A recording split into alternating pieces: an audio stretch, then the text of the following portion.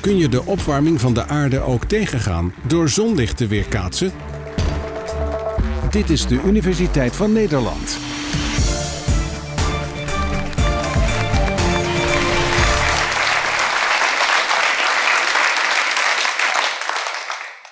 Als we doorgaan met wat we nu aan het doen zijn, met CO2 in de atmosfeer te pompen, waardoor die opwarming krijgen. En je wilt toch de doelstellingen van Parijs bereiken, die 2 graden opwarming niet meer. En je komt in de buurt van die 2 graden, moet je misschien toch je toevlucht nemen tot onconventionele technieken. Hoe kan je dan nog ervoor zorgen dat de aarde, in plaats van door die CO2, afkoelt? Wat kunnen we daarmee? Daar ga ik het nu over hebben. Er zijn veel ideeën over gevormd. Bijvoorbeeld hier is een overzicht van schilden of, of, of uh, spiegels in het heelal, uh, stof in de atmosfeer, uh, oceaanbemesten. Allerlei mooie ideeën, fantastische ideeën of fantasierijke ideeën, net hoe je het noemen wil, waarover nagedacht wordt. Om maar ervoor te zorgen dat de opwarming van de aarde niet te veel wordt.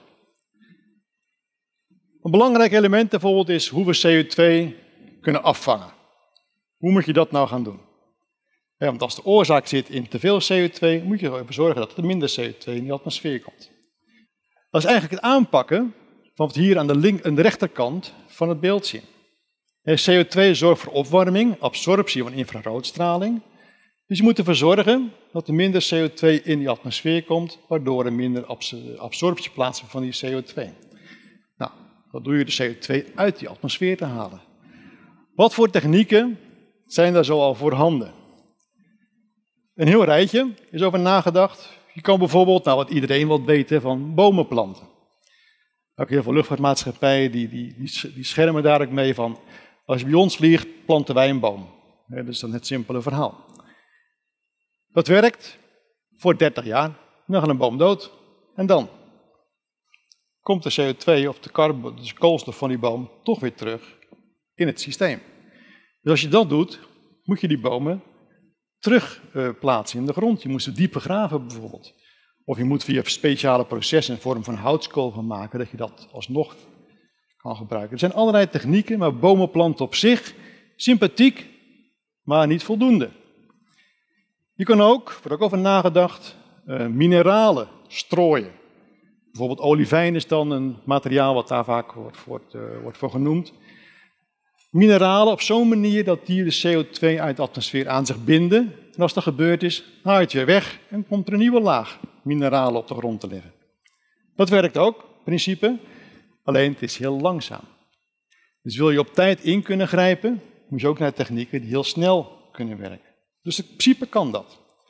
Wat ook kan, is filters maken. Gewoon technische filters die CO2 afvangen. Als je dan berekent hoeveel je er nodig hebt, heb je er heel veel nodig. Wat eigenlijk voorlopig nog niet echt haalbaar is. Wat ook een mooi idee is, is het bemesten van oceanen. Wat je dan kan doen, ik heb hier een mooi voorbeeld ervan, een schema ervan. Je bemest oceanen door bepaalde ijzerverbindingen op grote gebieden over die oceaan te strooien. Wat gebeurt er dan? Plankton groeit daarop.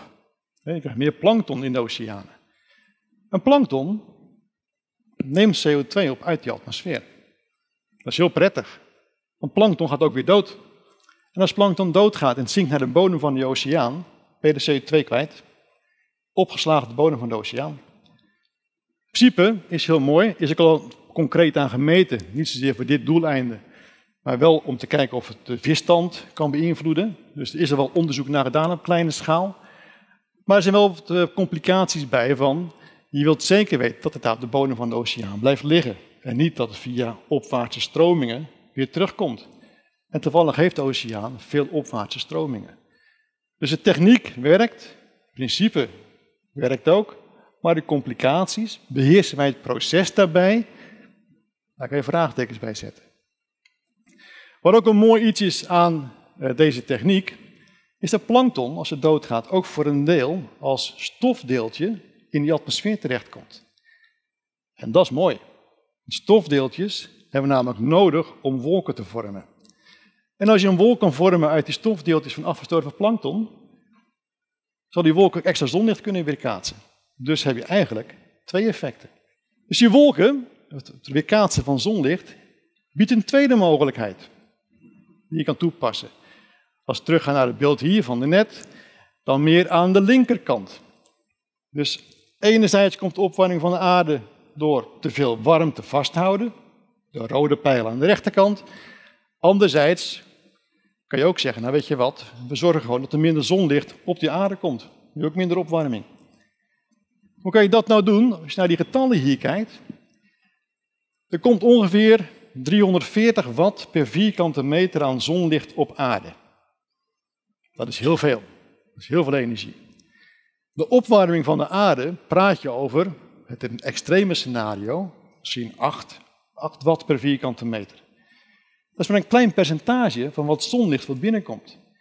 Dus als je maar een klein percentage van het zonlicht weer kaatst, kan je eigenlijk al zeggen, nou, het klimaatprobleem is opgelost. Dus zo groot is dat probleem helemaal niet. Gewoon een beetje zonlicht weer kaatsen. Hoe kan je dat doen?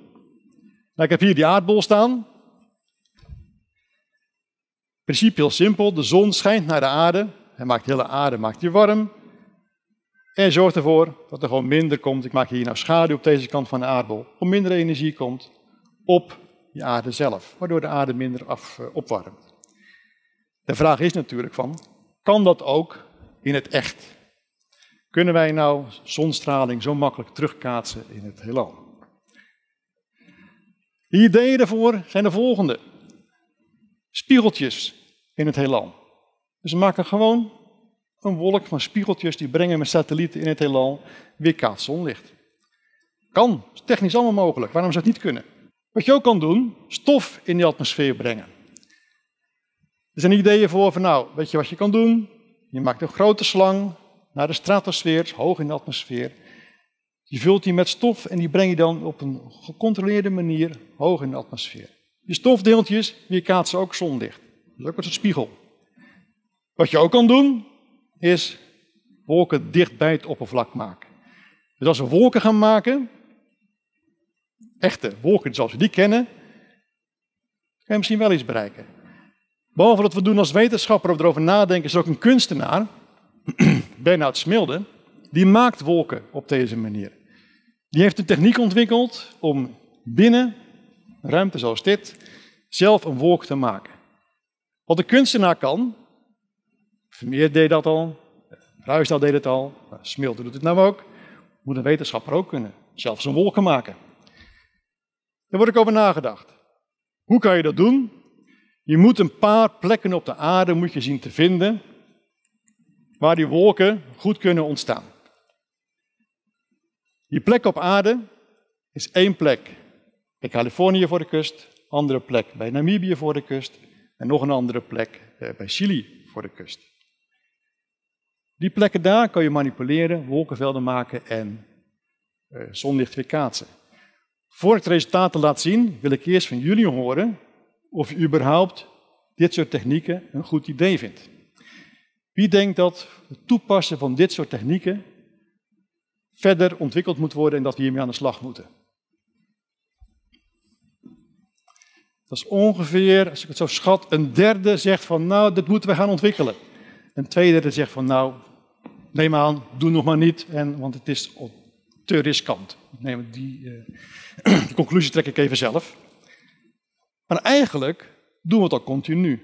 We zijn al bezig met onze CO2-emissies om die aarde continu te veranderen. We zijn al bezig met geoengineering. Dat is geen nieuw principe wat we nou pas gaan bedenken. Het bestaat al en we doen het al. En ook de natuur doet het continu. Vulkaanuitbarstingen doet niks anders. Die brengt enorme hoeveelheden stof in die atmosfeer.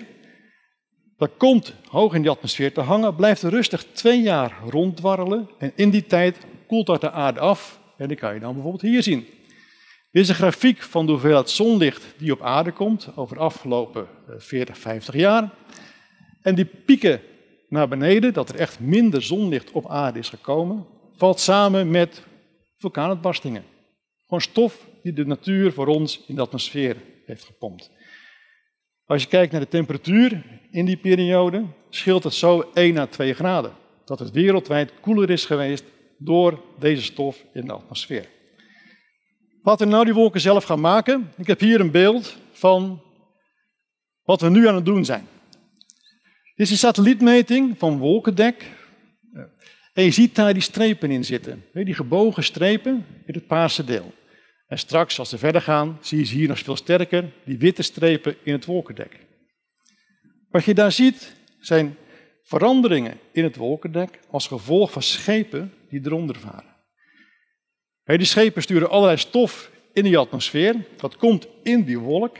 En als die stof in een wolk komt, worden druppels kleiner en je krijgt veel meer druppels ervan. Dit is een toevallig effect, maar worden mensen wel op een idee zijn gebracht van hé, hey, dit kunnen we misschien op grotere schaal doen. En bijvoorbeeld met schepen zoals dit. Dit is een prototype, een tekentafeltype nog van een schip met vier, drie schoorstenen erop, die zeezout van het oppervlak van de oceanen opneemt, naar boven blaast, de wolken in en zodra het in de wolken komt, de wolken eigenlijk witter maakt. En daardoor meer zonlicht het heelal in zal kaatsen, waardoor de aarde af kan koelen.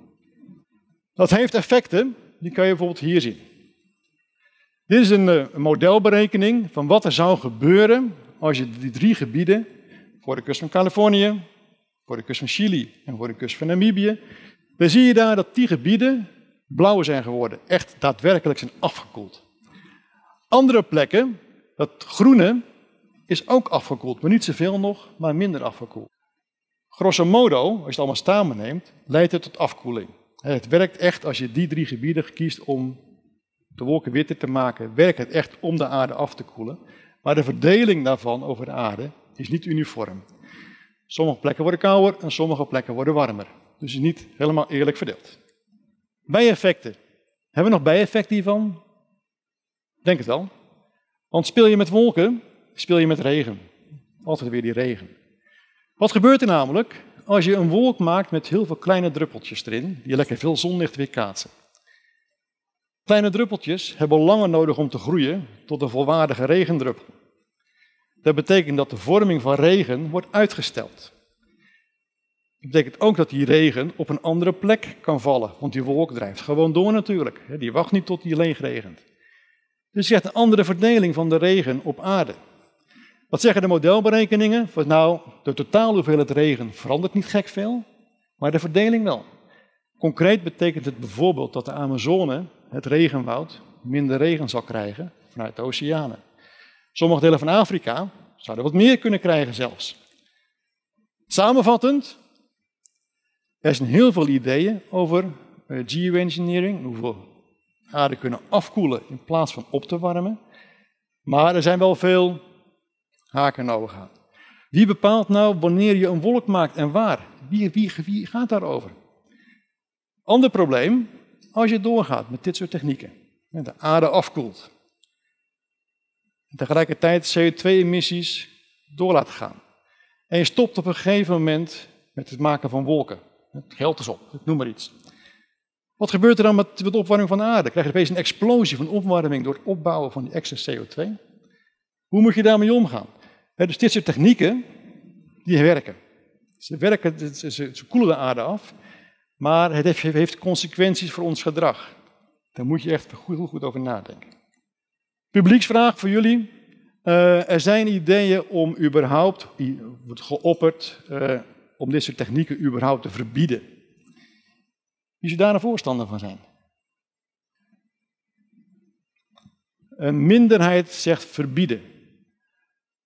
Vind ik ook. Je moet het niet gaan verbieden. Op het moment dat je zulke technieken gaat verbieden, stop je ook met nadenken over die technieken. Terwijl ze, die technieken, als ons CO2-emissiepatroon niet veranderen, wel nodig kunnen gaan hebben. Dus je moet je wel voorbereiden. Dus eigenlijk ligt het aan onszelf van of we überhaupt zo'n techniek ooit nodig zullen hebben. We hebben het zelf nog in de hand door onze CO2-emissies goed terug te dringen, of we ze überhaupt uit de kast moeten gaan trekken.